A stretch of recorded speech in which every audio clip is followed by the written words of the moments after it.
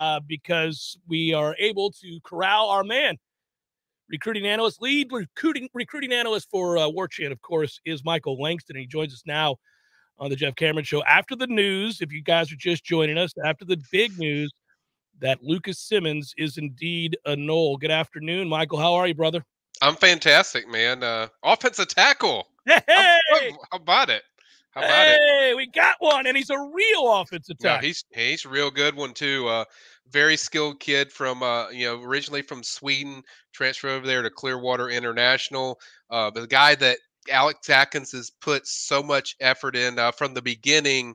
Um, FSU was on him the hardest. They did the best job. They they connected with his family, connected with the kid in a way that nobody else has. And as I've said before, Alex Atkins is a rock star when it comes to when you watch him coach, the way he way he connects with people. It's it's one thing coaching him, Jeff, but it's another thing how the kids respond to what you're teaching him.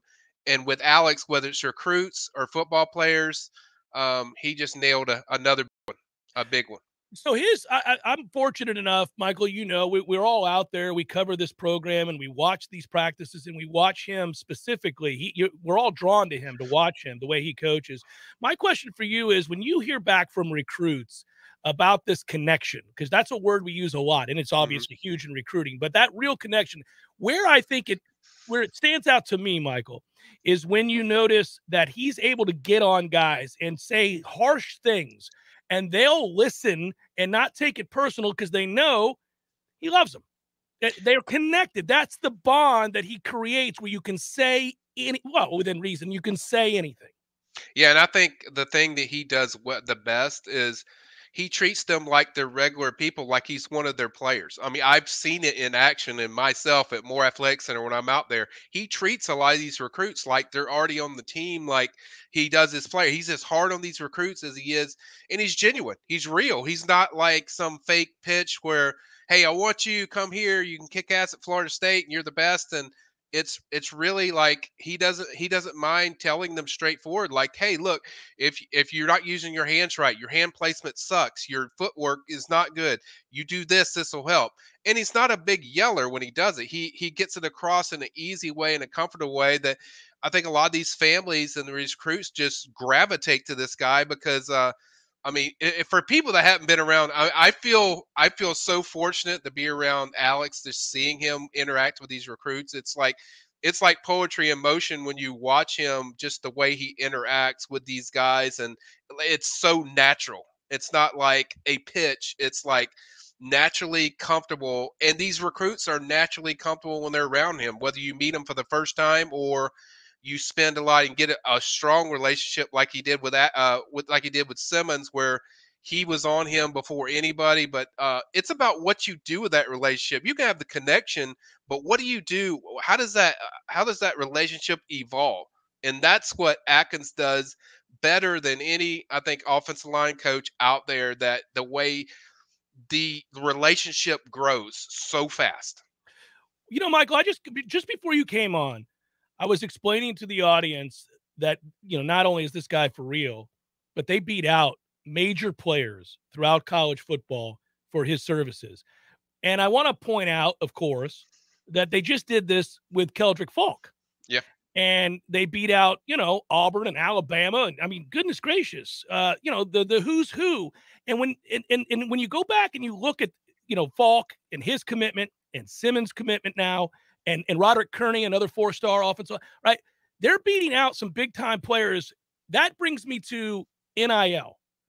Mm-hmm. Florida State was thought to be for a very long time, and maybe were lagging behind in NIL. Mm-hmm. Is this an indication now that they've caught up?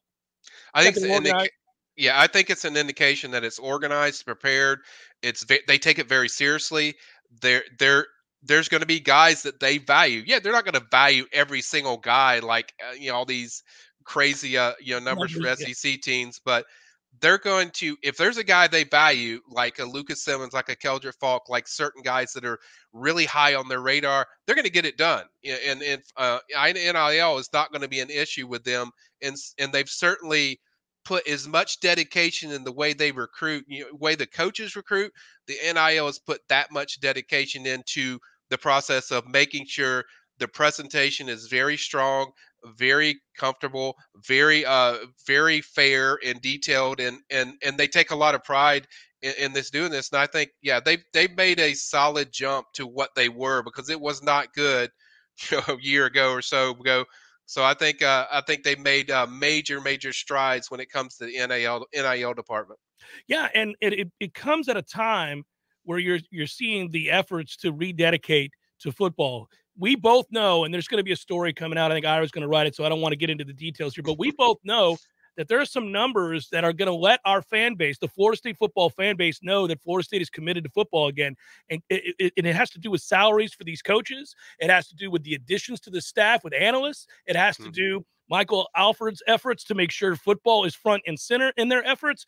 You're seeing this now. And then you marry that with what we're talking about right here the NIL, the organization, uh, the identification of certain players where that's going to be necessary. And you're mm-hmm. out dueling, like we said, a Florida, a Southern Cal, a Tennessee, a Georgia, and that, that's that's real significant progress. It is, and you're talking about you know the main competition was Tennessee.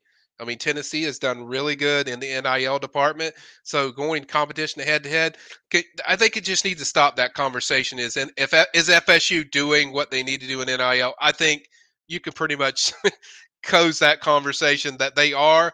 They're certainly going to be competitive.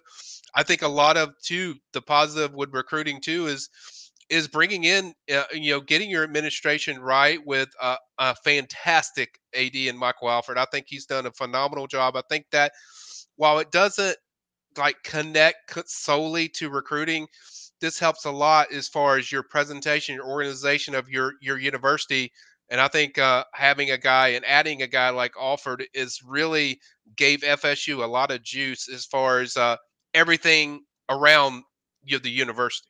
Before I ask about other names that are on the radar of Florida State coaches and Florida State fans want to hear about, whether okay. we're talking about the Smothers kid or Nick, what I want to ask you this: Tell us about Simmons, the player. Uh, you know, I said at the outset when you and I began talking, this is a real deal, a real tackle, and he's athletic. Go ahead and expound, if you will, on what you know of him as a player. Yeah, he he's very unique. Uh, really just long reach. I mean, really, really good range as far as in pass protection. But the thing that caught my attention was this kid's footwork. He's got really quick feet. Uh, you know, you can have all the range you want if you don't get if you don't square up and you're not beating the guy to the punch you know, there's guys that can get around you as far as that, but his range is really good. Footwork jumps out to me. And then the way he finishes. I mean, that's the thing that jumped out to me. I was like, usually I don't see guys that big, you know, that long. Usually they're kind of just finesse and he really finishes uh, his block. So I'm sure that's certainly caught FSU's attention. I think I think this kid's a top 100 player. I mean, I think this kid, if he keeps growing and developing, you know, this is a guy that you could talk about five star status down the line if he keeps developing. But I definitely think he's a top 100 player. Um, I just think he fits everything to what FSU lacks, you know, as far as that offensive tackle position. yeah, you said it. I'm glad you said it. I say it all the damn time. Uh, give, give, me some other names here. Uh, so we, we know uh, we got to look ahead.